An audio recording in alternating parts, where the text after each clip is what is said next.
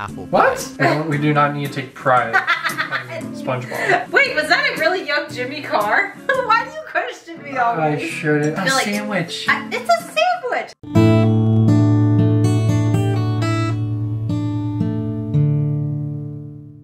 Hey everyone, welcome back. Today we're going to be checking out top 10 things America stole from Britain. It's, I might be surprised by a few of these. Uh, I know there's a lot of things since we started this channel that I've come to realize that were invented or made Yeah. by a Brit. I'm really curious how much of this is historical stuff or more modern day stuff because I think it goes into both. Just quick uh, thing, like I knew Alexander Graham Bell invented the phone. I kind of knew the whole story and stuff, but I didn't realize he was actually a Scot. He was a Oh. Scottish person. Even though he was a Scot, like I just for some reason assumed he was American. and I shouldn't. But yeah, so there's like there's a lot of that that happens though. Even if it was technically made here, it wasn't invented or developed Right. by an American. Like they had it first. yeah. So anyway, guys, stole it from them. we're gonna find out. This is Watch Mojo. I know some people don't like Watch Mojo. This is Watch Mojo UK. I don't know if that makes a difference, guys. For Anyway, us, it's just informative, and you guys are feel free to correct us all you want because we don't know everything. Before we get into the video, please like, share, and subscribe if you like this type of content. Uh, go check out the channel's Discord and send us future recommendations that way. And we'll see you guys in the comments below. For this list, we're counting down famous facets of American culture which actually originated in Britain. While standout British inventions are subject for another list, today's countdown tackles typically American things, which the US has the UK to thank for. Okay, so that's a little different than I was saying. I was thinking it would be like more inventions and stuff, but that'd be an interesting video to check out though. Number 10, apple pie. Really? What? As American as apple pie, right? It's- it's literally, that's the same. What? Wrong.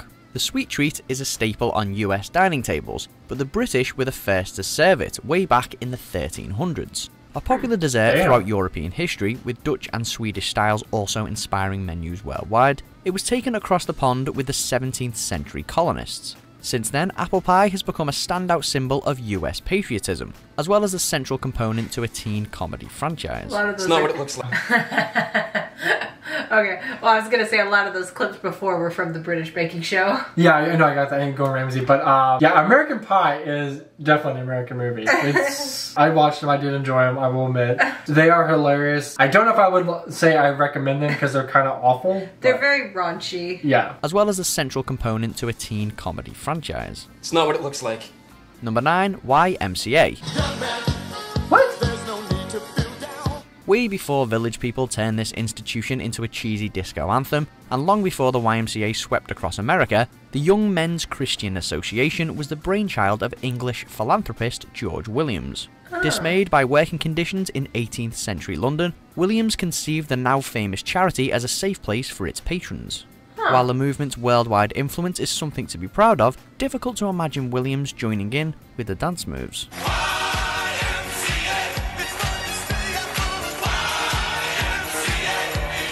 Number 8, chocolate bars. I think I'll eat it now. Well, I know, like we didn't Candy invent bar. chocolate.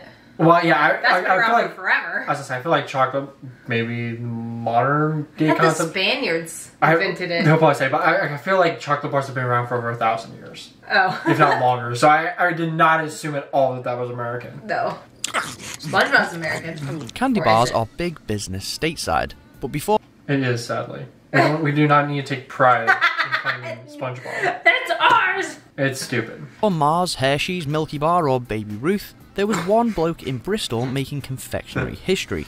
Joseph Fry finalised the first mass produced chocolate bar in the mid 1800s, around the time that the Dutch developed a chocolate press. Fry's chocolate cream hit shelves in Oh, 1866 that's with a fancy. famed fondant filling, and the bar can Oh, still be bought today. John Cadbury quickly followed suit, while the likes of Hershey's didn't arrive until the late 1890s. Number seven. Commercial. Cadbury is so good. I know. That just reminded me we should check out some more uh, like uh, food adverts. Mmm. Like stuff we've tried or some that we've like check out. We should just check out some British adverts. Is what I'm trying to say. Sandwiches. Could I have a glass of wine? Okay. And a, and a ham sandwich? If you like. I could be totally wrong, but I think that's uh, the comedian Bill Bailey. We've had some recommendations to check Oh, him out. really? The guy on the left okay. with the long hair. So yeah, guys, I've never heard of the show. Let us know down below if it's any good. If we should check out some clips. Ham sandwich? If you like. With a pickle? All right. Thanks to world conquering fast food outlets, Homer Oh Simpson and Joey Tribbiani, you'd be forgiven for thinking that this foodstuff was a US creation. However, the history of the sandwich is long and complicated, and very little of it happened in America. It'd While early versions are recorded across Europe, it's named after the 4th Earl of Sandwich in Kent. The story goes that he was an ardent gambler, and meat between bread was the simplest way of eating without disrupting a game of cards. Sandwich for display purposes only and should not be eaten. Number 6. So yeah, I, I again, as well as I would not assume that that was American. and I don't even know if it's really. that- I feel like in the UK at least, it, it looked like a lot of people eat sandwiches too. I, I don't think it's uniquely American at all. No, I think sandwiches. when I think of sandwich, I kind of think of like a cheeseburger and stuff like that. it's I feel a like sandwich. I, it's a sandwich. No, a it's a not. burger and between two pieces of bread. It's a okay, sandwich. maybe I don't know the technical terms. I'm not a sandwich connoisseur. it has its own name, a burger. I know, but it's But a a type sandwich- of sandwich. Okay. Cheeseburger sandwich. You are probably technically correct. I But- feel like a like what I'm saying. A burger is more American than like yes. a Well, typical sandwich. I shouldn't be so confident in that because I'm not for sure. but what I'm trying to say is, I feel you wouldn't go to a restaurant and be like, "I want a sandwich," and expect them to bring you out a burger. No, you'd expect like So there turkey is a or ham and difference. cheese or something. The Office. That's what she said. That one I knew. Yeah, you've watched The Office like 13 times. well, I've also watched the British version. I like that one too. But they only have like one, maybe And two yes, seasons we or so. mean the TV show and not the actual open plan workplace, which is largely a German invention. Anyway, unlike a lot of American remakes of British TV, The Office US did manage to tap into most of what made its predecessor pair. But after nine series and a shed load of awards, let's just remember where it all started. Steve Carell's Michael Scott is hilarious in his own right, but for fans of the British original, Yeah. he'll always be David Brent in disguise. I have not seen the British version. Number 5, Plastic Surgery. Wow. Very awkward. That came out of me. From Botox to boob jobs, America is the world's leading market for cosmetic surgery, with millions going under the knife every year. But the industry was by no means born in the USA. Sir Harold Gillies is often credited as the father of plastic Kinda looks like surgery, a New Zealand born, London based surgeon who gathered leading physicians to treat thousands of soldiers who had been injured or disfigured in World War One. Gillies that makes more sense of why plastic surgery came about. Is because to Well, help. no, that's what I was going. To, that's what I was going to mention. Was in some ways it's a good and bad invention. Right. Like probably like most inventions can be because it has some amazing results. Like Yeah. you know, burn victims or soldiers or people with Yeah, disfigurements deformities or something. Like they can have plastic surgery and feel better about themselves and everything. Mm-hmm. But then you also have the extreme side where yeah, people get Too much. So much that it, they do it so often that it's killing them. Like the fillers, not so much like just plastic surgery, but like all the fillers and stuff that they inject. There's like two sides to each coin, but physicians to treat thousands of soldiers who had been injured or disfigured in World War One. Gillies' work became a blueprint for all sorts of reconstructive procedures and a starting point for today's aesthetic options. Number 4. The light bulb. A supposedly serial stealer of other people's ideas, Thomas Edison's light bulb moment is considered one of the most significant steps in modern technology. Hey, Edison! How about sharing some of those light bulbs, huh? Hey, figure it out for yourself, man. but experts are continually divided on just how much Edison did to develop the design. Before the Wizard of Menlo Park, there were countless other scientists creating electric light and light bulbs, not least British pioneers including Humphrey Davy and Joseph Swan. The anti Edison camp claims that the inventor's only skill was knowing when to patent. One thing Edison did yeah, I think I I mean I knew about that because the light bulb, like he gets credit with it, but it wasn't. His original idea. Well, there were so many light bulbs at the time, but they like almost instantly burn out. Yeah. So he was accredited with making like the longer lasting light bulb. Yeah. But at the same time, yeah, Thomas Edison, there's a lot of dirt on him, and he was not actually that great of a guy. Now, I'm pretty sure he did invent some things. Like he was an inventive person and Right. had engineering mind and everything. or reinvented a bunch of things. He gets a credit with a lot of things that he didn't actually do. Right. Knowing when to patent. one thing Edison did invent. Patent. For 100% genuine Edison invention that we use every day, probably most of us. Is it nasal hair clippers? Number 3. Donuts. Wait, was that a really young Jimmy Carr? No. That looked like Jimmy Carr. Probably most of us. Is it nasal hair clippers? Num- That is! It is Jimmy Carr! Ah. You can hear it in his voice! Why do you question me I always? shouldn't. I was looking at the. Oh my god. You were looking at the other guy? It was a chubby Ch- Jimmy Carr. Alright, congratulations. Number 3. Donuts. really? hurt you? I actually just showed you oh, that. Oh, what was that movie? Now, the That origins so of the weird. donut are a sticky affair, with claims and counterclaims sending historians round and round in circles. However, while a stronger suggestion remains that the Dutch took the treats to America in the mid 19th century, a 2013 discovery seemingly proves that the Brits were baking them at least 50 years before. Baroness Elizabeth Dimsdale's cookbook dates to 1800 and includes a strikingly similar recipe. A deep fried concoction of sugar, eggs, butter, and yeast, add some icing, and it's the real deal. Hmm. Number 2, I'm not that surprised on the donut thing. I feel like Yeah. that's, it's a pre-ordered invention. the Yeah, concept. Yeah. I would Okay. have guessed like maybe Now, France or something had it. This, I'm surprised by. Baseball? Yeah. I know they have rounders, Yeah. and then they have. But you know, if we stole the idea and I don't know. developed We'll, baseball, we'll- let's find out. baseball.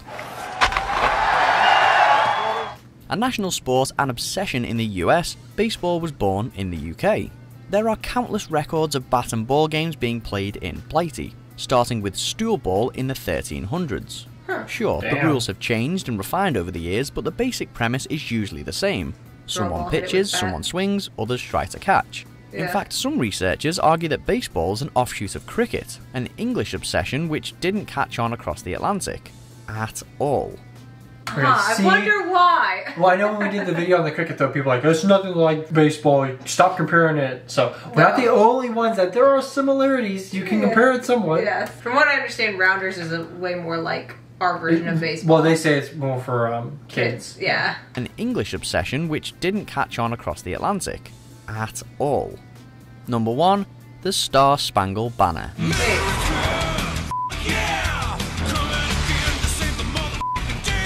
We finish with a final That salute looks for so gr- dumb. What is that? Oh, Have you I seen don't that? remember. No, but I think I know it's one of those like stop motion animated movies oh my with like gosh, it looks so bad. It's very cringy. We finish with a final salute for great British influence on American culture, because the US national anthem is sung to the tune of an 18th century English drinking song. Oh, okay, so Baltimore wordsmith Francis Scott. Key takes full credit for the lyrics, but the melody was written by John Stafford Smith, a Gloucester born composer. The Anacreontic song, as it was originally known, was regularly belted around a prestigious London gentleman's club, where wealthy people met to wine and dine. That would be an interesting one to look up. Actually, is what that pub song is. Yeah, I mean, that's in- interesting. I'm actually not as surprised about the Star Spangled Banner. I'm a little bit. At first, I was just like, that, that, all the lyrics are purely American, but no, it was just the tune. Okay, that makes more sense. Yeah, they weren't as shocking that I thought. Was well, the most shocking about this video is that you recognize Jimmy Carr in a split second, proving me wrong once again. That's okay. It's okay. I, I, I can take my wins where I get them. You get them often. So let us know down in the comments what you thought and if you were surprised by any of those. And if there's some bigger shocks out there that we don't know about, please comment below and let us be shocked all over again. Well, I think we really definitely should check out the inventions because I feel like there's a huge list. Well, the thing is, we're a relatively a young country compared to most, so I feel like a lot of things came first in other countries. Yeah, I mean that's to be expected. I just I feel like We're so heavily influenced by other countries, and they're in the beginning for sure. some of those were definitely surprising. Like the apple pie, I would not have guessed that. I will say, because I did want to kind of say it then, but I wasn't sure, is uh, you guys do apple pie different? Because I did get an apple pie when we were in London. I was not a fan. Well, that should- could have just been where you got though. Maybe it was at I've a had- pub, and so I've had apple pie here that I've hated. I guess, but I don't know. I, I like my own apple pie. Maybe that's why. So Guys, thank you so much for watching. Uh, please like, share, and subscribe if you haven't. Hope you guys enjoyed. Hope you guys learned something along with us, and we'll catch you guys in the next video.